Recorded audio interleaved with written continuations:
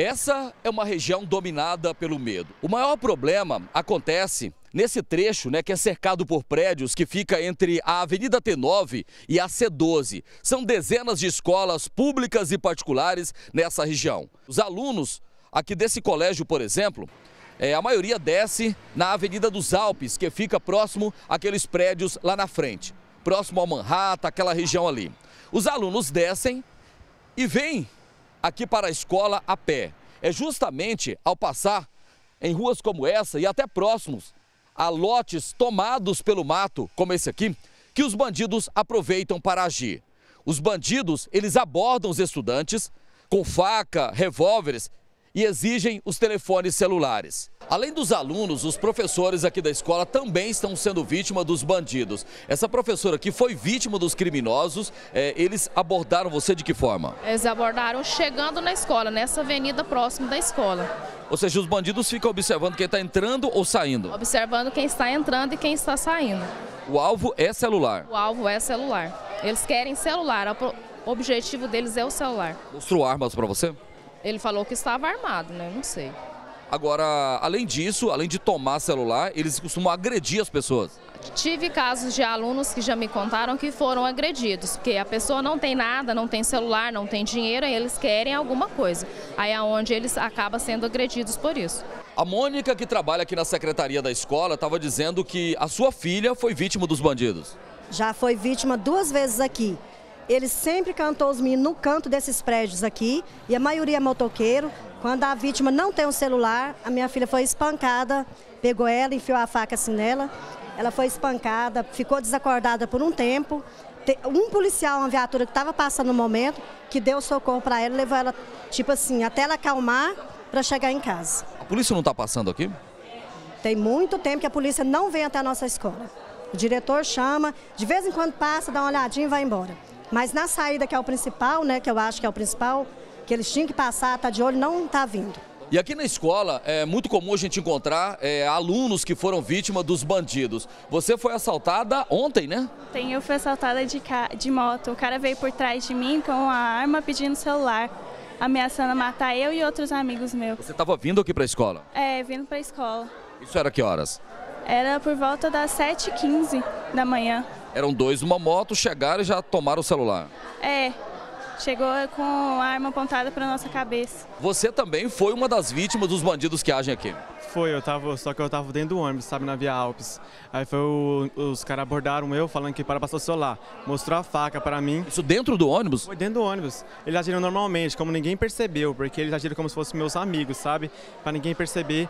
Ou seja, você tava dentro do ônibus, ele encostou em você? Aham. Uhum. Ele chegou assim, ó, fica quietinho. Eu tô com uma faca que mostrou para mim e falou, passa o celular e sem fazer escândalo, senão você leva a facada. Aí eu falei, tá bom, eu entreguei na boa, eu fiquei normal, nem ia reagir.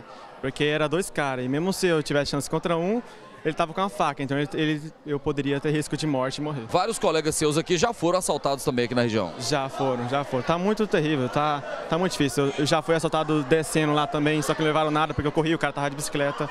Já é a segunda vez aqui. O ladrão tava de bicicleta? Tava também. Que medidas ah, o senhor, como diretor, já tomou para procurar as autoridades ou até mesmo conscientizar os alunos de como prevenir essas ações? Bom, nós tivemos já o contato com, com o batalhão escolar, né, para que pudesse fazer uma, uma, uma, uma maior extensividade de viaturas na região, com isso já possibilitou a prisão de, de algumas quadrilhas que estavam assaltando os alunos próximo da escola e também orientar os alunos, né, para que ele pô, não venha com celular, e ter mais cuidado, entrar, andar sempre de grupo, né, sempre vir nos horários da escola, para que possibilite evitar esse tipo de assalto na, na mediação da escola.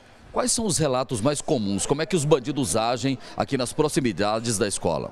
Ele aborda o aluno, geralmente fica numa esquina, aborda o aluno com uma faca ou com uma arma de fogo, né, pedindo o celular. E se não tiver, já tivemos casos de esfaqueamento de aluno porque não tinham o que entregar naquela hora, ou que o aluno evitou de entregar. O que não faltam aqui na região são histórias e relatos de ações de bandidos. Você já foi assaltado, ficou sabendo de assalto aqui na região? Já fui assaltada e também história de assaltos aqui na região. Como é que você foi assaltado?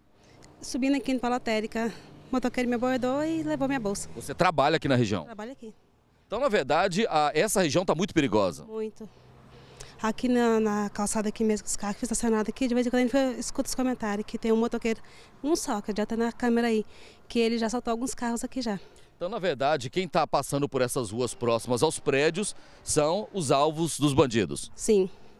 Aqui, para baixo, muito parado aqui, se você vê os motoqueiros encostando no carro, você já fica preocupado, porque... Então, quando o motoqueiro passa, todo mundo já fica com medo. Fico com medo. Eu mesma, aqui quando a gente sai aqui, as, as meninas trabalham 5 horas, geralmente a gente gosta de esperar uma outra para subir juntas, porque na, na, na próxima esquina aqui também já foram teve três assaltos lá já, com as meninas aqui do prédio. Agora o que chama atenção que tem o 20 distrito, que é da Polícia Civil, tem também o 7 Batalhão da Polícia Militar aqui perto, nem isso tem é, facilitado para vocês? Não, pra falar a verdade, viatura aqui eu quase nem vejo. E aqui nessa região, como ficam muitos carros parados aqui na porta dos prédios, os bandidos aproveitam para agir, não só para abordar os pedestres, mas também até para roubar estepe de carro. É isso que vocês já chegaram a ver aqui? É, até estepe de carro. Tentar levar o estepe do carro da caminhonete que estava estacionada aqui na porta aqui do prédio aqui. Então, casos, por exemplo, de assaltos aqui, isso é frequente? Aqui é frequente, aqui é frequente. Aqui ninguém tem mais sossego, né? É roubo de cachorro. Você está passeando com um cachorro, você não tem mais sossego, porque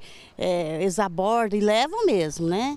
E já é muitos casos aqui de vizinhos aqui que ficaram sem os cachorrinhos. O motoqueiro passa? Assim, simplesmente pega e fala, é estou levando, os outros, a casa caiu para você, até sacolas de supermercado vizinha minha aqui, ó.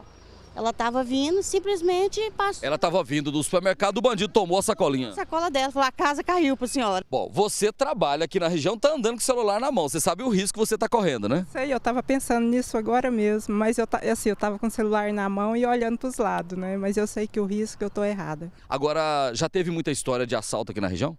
Sim, eu já vi falar muita, muitas histórias de assalto e droga também, né? Então, essa região aqui é uma região perigosa. É muito perigosa. Sim. Normalmente o que? São motoqueiros? Quem é que assalta aqui? Motoqueiro. Motoqueiro. Quando eu vejo motoqueiro, por causa das histórias, eu já fico com o coração na mão. O motoqueiro passa perto já fica assustado. Já fica assustado. E às vezes é ruim porque tem pessoas boas, né, que andam de moto, a maioria, mas tem os que os maus que. Mas andando aqui, coração na mão. Coração na mão, o tempo inteiro. A Lilza trabalha também aqui na região, né, em prédios aqui da região. Agora, eu vi que você estava dando uma volta danada aqui, por quê?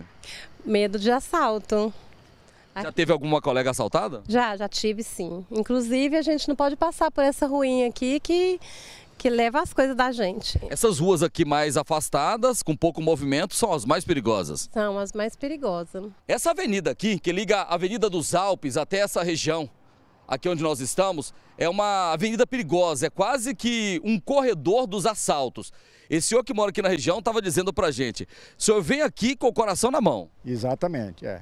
é tempos atrás, aqui na esquina, chegou um bicicleteiro, imediato chegou um moço de moto, conversaram entre os dois, a moto foi pela direita, o outro veio aqui, assaltou o rapaz logo aqui na frente. Então, eles aproveitam, vamos caminhar um pouquinho aqui. A gente pega uma avenida dessa aqui, ó, uma rua dessa aqui, uh, onde tem muros dos dois lados, é justamente numa área dessa que os bandidos muito acabam. Perigoso, muito perigoso. Eles fecham a pessoa aqui. Fecha, fecha. Diante de tantos assaltos aqui nessa região, quem mora, quem trabalha, quem estuda, aqui principalmente nesse trecho entre a Avenida T9 e a C12, é, está pedindo socorro para a Polícia Militar para que reforce o trabalho preventivo aqui na região, principalmente com o batalhão escolar. Mas essas pessoas cobram também mais atuação da Polícia Civil para identificar e prender os assaltantes que agem aqui, tanto a pé, de bicicleta ou de moto, a qualquer hora do dia eles não perdoam mesmo as pessoas que passam, principalmente nessas ruas mais tranquilas aqui dessa região. Essas ruas que ficam entre os prédios residenciais, como esses aqui, ó. As pessoas estão chegando ou saindo dos prédios e das escolas quando são atacadas pelos criminosos.